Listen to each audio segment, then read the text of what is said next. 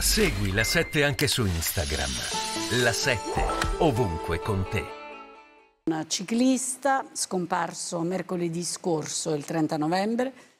Lui si chiamava Davide Rebellin, è morto investito da un tir mentre faceva quello che amava di più fare, e cioè andava in bicicletta.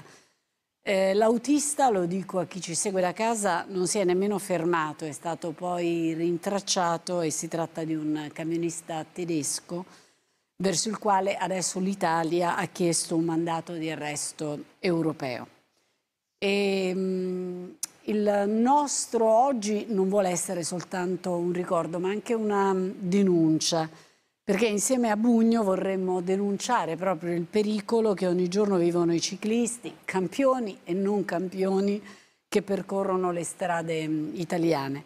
Eh, guardiamo insieme una clip, arrivo da lei poi Gianni, la clip è di Emilio Torsello.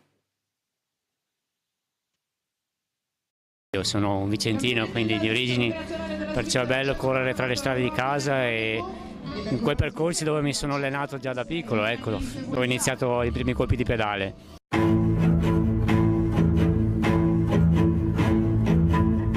Ma Davide Rebellin, che ha vinto tra le altre tre edizioni del Frecciavallone e una tappa del Giro d'Italia, proprio su quelle strade ha perso la vita a 51 anni il 30 novembre scorso, travolto da un camion pirata. Che l'Italia non sia un paese per le biciclette lo dicono anche i 103 ciclisti morti sulle nostre strade nei primi otto mesi dell'anno.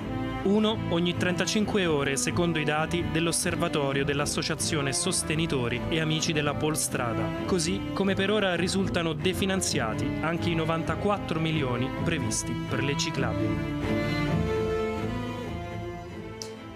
Allora, poi arriviamo a questi numeri terribili, no? Però prima chiedo mm, a Gianni Bugno di aiutarmi a raccontare chi era Davide. Intanto, mm, quando l'ha incontrato l'ultima volta?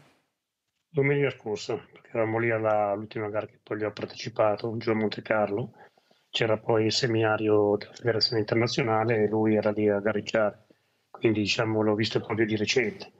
E Davide, Davide era un ragazzo che amava la bicicletta, amava questo sport tanto che ha chiuso praticamente la sua vita in bicicletta. Eh, quest'anno aveva deciso di smettere, di dedicarsi ad altro, ma purtroppo non ha fatto in tempo. Senta Gianni, ehm, me lo dice come vi siete conosciuti, quanto tempo fa, cioè che amicizia è stata la vostra? Eh, sale più di 35 anni fa, che praticamente passato nella squadra a cui appartenevo anch'io, abbiamo fatto un anno assieme, eh, lui aveva poco più di 22-23 anni e dopo lui ha continuato la sua carriera, io smesso nel 98. Qualche giorno fa un quotidiano, eh, la stampa credo, titolava Non è un paese per bici. E così il nostro non è un paese per bici? No, non è un paese, non è un paese per bici, no diciamo che non riusciamo a convivere col traffico, quello sicuramente. Secondo me poi la soluzione, non c'è una soluzione in questo momento, ma ci vuole solo educazione e non una supportazione come si vede spesso in giro. Alessio, eh, si aggiungono numeri ai numeri, no? Sì, questa è un'agenzia che è arrivata poco fa. Eh, un uomo è stato travolto e ucciso a Castelvolturno, nel Casertano, mentre era in bici da un'auto, in questo caso il conducente si è fermato allertando i soccorsi. Ci sono dei particolari che è meglio tralasciare a quest'ora, magari sono i bambini che stanno ascoltando, comunque è stata piuttosto, piuttosto cruenta la dinamica che ha portato alla morte di questo giovane uomo. E, ehm, Gianni, i ciclisti continuano a morire secondo l'ASAPS, l'Associazione Sostenitori e Amici della Polizia Stradale, tra gennaio ed agosto di quest'anno ehm, sarebbero morti già 103, direi 104 con la persona di cui parlava Alessio adesso e poi a questi numeri vanno aggiunti quelli che muoiono dopo in ospedale, quindi che rimangono feriti e poi non ce la fanno. E, ehm, mh, lei diceva malsopportazione, cioè i ciclisti vengono sopportati male, bisogna imparare una convivenza. Però io intanto le chiedo, c'è un dato che è relativo all'educazione e poi ci torniamo, ma c'è anche un dato relativo, non so, alle piste ciclabili, cioè a quanto poi le strade siano sicure o insicure per i ciclisti? Allora, le piste ciclabili da noi sono ciclopedonali, quindi sulle strade ciclabili possono andare sia le biciclette che i pedoni. Eh, diciamo che le biciclette diventerebbero un problema per i pedoni, anche perché non c'è l'educazione da parte di nessuno di come interpretare questi ciclopedonali. Eh, dovrebbe essere fatta maggiore educazione nelle scuole, insegnare ai giovani, che poi saranno il, nostro, il futuro, il nostro futuro, a utilizzare meglio quello che è mh, mm, la, la strada. Eh, fare le piste ciclopedonali tante volte non serve a diminuire i problemi perché la bicicletta diventa un problema per i pedoni sulla ciclopedonale e un problema sulla strada perché sulla strada dopo non potrebbe più stare. La bicicletta, anche quelle assistite di oggi, vanno a circa 30 km all'ora. Prendere un, vestire un pedone, magari anche un bambino piccolo, a, questa velocità, a quella velocità farebbe sicuramente, creerebbe sicuramente dei danni. Quindi la, la, la, ciclabile non è la Quindi soluzione. Quindi neanche migliore. la ciclabile è una soluzione, ma come siamo messi rispetto no. agli altri paesi, Alessio, sulle ciclabili? Eh, siamo messi male perché è uscita una classifica, il rapporto Clean Cities, Legambiente Kyoto Club, le città più amiche dei ciclisti ovviamente in proporzione alla popolazione. C'è una città belga al primo posto, noi la conosciamo come Gand in, in lingua locale Ghent, 20,2 km di piste ciclabili ogni 10.000 abitanti. Poi Helsinki, state vedendo Monaco, Monaco di Baviera, la prima è Milano con appena due, la prima italiana ovviamente, chiudono Roma, Roma Napoli, e. Napoli. Oh, dopodiché Gianni, lei dice però quello non è la soluzione, ma anche negli altri paesi le ciclabili sono ciclopedonali? No, no, sono ciclabili. Sono ah, ciclabili ecco. e i pedoni non, non, non invadono la sede delle, delle biciclette.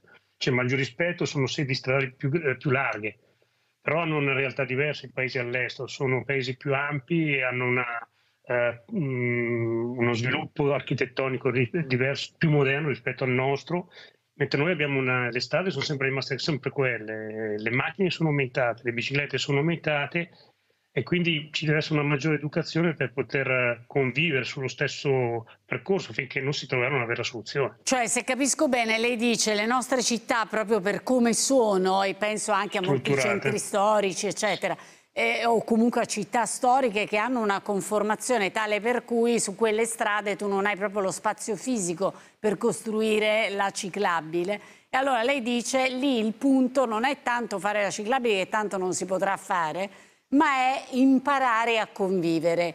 Eh, qual è il punto? Che per gli automobilisti i ciclisti sono semplicemente un disturbo? Vengono percepiti come un fastidio? Sono un disturbo, sono probabilmente un disturbo perché rallentano il traffico.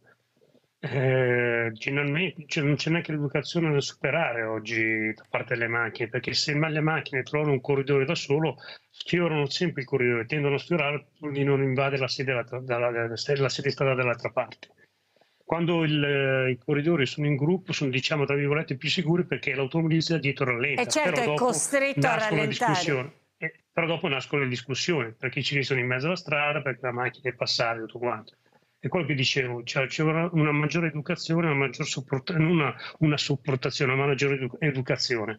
Ultimamente sono andato alle Canarie e lì ho notato, la, nonostante i percorsi siano strade normali, strade anche strette, lì c'è, rispetto, c'è molto rispetto nei, nei, confronti dei ciclisti, sia alle Canarie che in Spagna. Quindi, Perché secondo lei? Cioè, il dato è culturale, quindi? Sì, c'è una maggiore educazione nelle scuole, c'è una maggiore educazione verso gli automobilisti e, e c'era la, la, il, il, famoso metro e mezzo a cui devono sorpassare le macchine, i corridori, hanno un maggior rispetto, una, maggior, una cultura diversa rispetto alla nostra. E Alessio, la politica ci ha messo del suo sulla questione delle biciclette mm, ultimamente? Manovra del governo, 94 milioni sono stati cancellati, sarebbero stati destinati al fondo per la ciclabilità, ovvero per realizzare le piste ciclabili, 30 km all'ora. Prego? Era Conte 2 che le sì, messi sì, sì, sì, sì, si è preferito recuperare questi soldi, quelli che state vedendo, per coprire altre voci di spesa.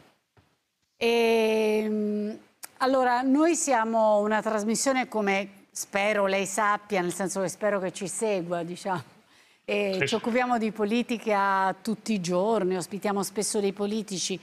Eh, mi aiuta a individuare anche le richieste da fare alla politica da questo punto di vista. Io guardo quel numero, 103 persone morte da gennaio ad agosto di quest'anno sulla strada semplicemente perché si muovevano in bicicletta e mi sembra un numero inaccettabile. Oggi peraltro sappiamo che c'è stata un'altra vittima. Allora, esiste un suggerimento che possiamo dare ai nostri politici? Come può migliorare la situazione, al di là del ripeto del dato culturale? Eh, L'unica cosa è con l'educazione, l'educazione nelle scuole, insegnare il codice eh, stradale nelle scuole eh, ai ragazzi ai ragazzini per poi eh, migliorare un po' quella che è la nostra realtà. Questo sarebbe un consiglio. Poi cambiare magari il codice sulla strada su, certe, su certi discorsi come quello del metro e mezzo, cosa già accolta in altri paesi, mentre in Italia è stata, eh, non è stata ancora accettata. Voglio chiudere leggendo il tweet di Giorgia Meloni su Rebellin, voglio chiudere da dove abbiamo cominciato, userò la- le parole di Giorgia Meloni. Sono turbata e rattristata dalla notizia della tragica scomparsa di Davide Rebellin, ciclista italiano che tanta emozione ha regalato agli amanti dello sport nella sua lunga carriera da professionista, conclusasi lo scorso 16 ottobre a 51 anni. Condoglianze alla famiglia. Ci uniamo a queste condoglianze. Grazie, grazie a Gianni Bugno, è stato un piacere. Grazie davvero. Noi ci vediamo Grazie. domani.